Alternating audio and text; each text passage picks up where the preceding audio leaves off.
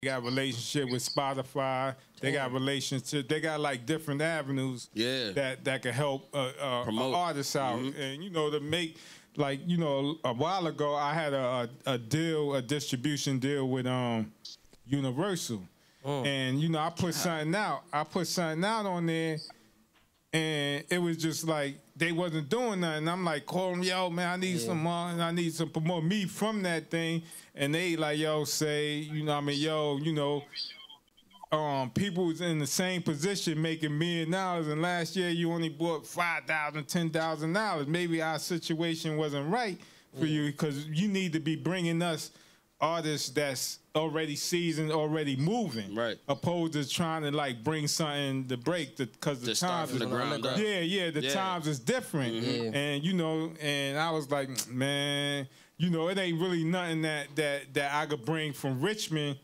that was like like already moving.